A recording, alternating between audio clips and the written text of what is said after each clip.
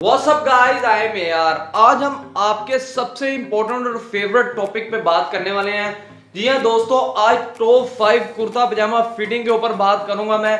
मैंने complete detail step by step information में video बनाई थी आपके लिए।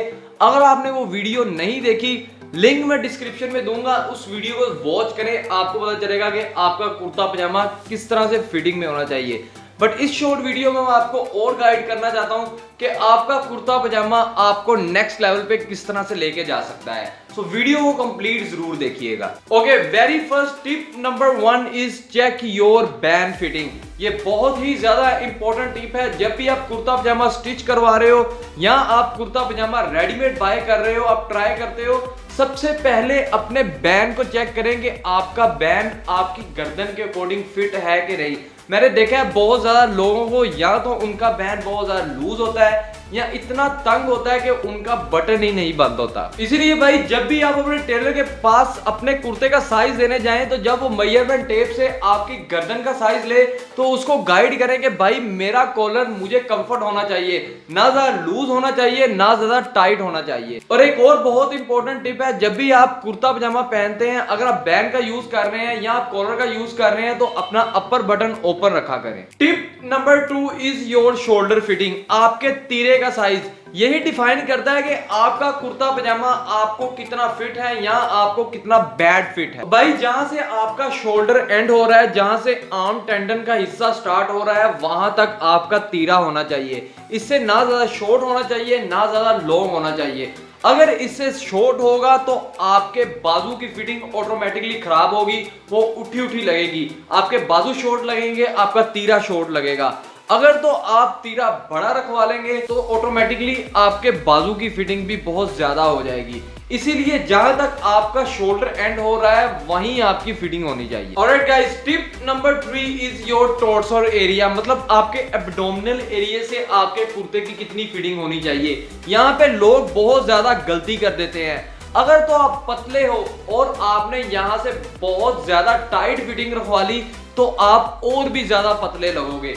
इसीलिए आपने थोड़ा सा एक्स्ट्रा फैब्रिक रखना है ताकि आप ज़्यादा पतले ना लगो। ऑन दी अदर हैंड अगर आप बहुत ज़्यादा मोटे हो, आपका पेट बाहर निकला हुआ है, तब भी आप बहुत ज़्यादा फिटिंग नहीं रखवाएँगे। उसकी रीजन ये है, अगर आप अपने एब्डोमिनल एरिया से ज़्यादा फिटिंग रखवा लेंगे तो आपका पेट बाहर आएगा और वो बहुत ही ज़्यादा एम्बेरसिंग क्रिएट करेगा। इसीलिए आपने थोड़ा सा एक्स्ट्रा फैब्रिक रखना है ताकि आपका पेट कवर हो जाए। Tip number four is your pyjama fitting चाचा ये सवेरे सवेरे क्या मेरे को यही देखने का है क्या?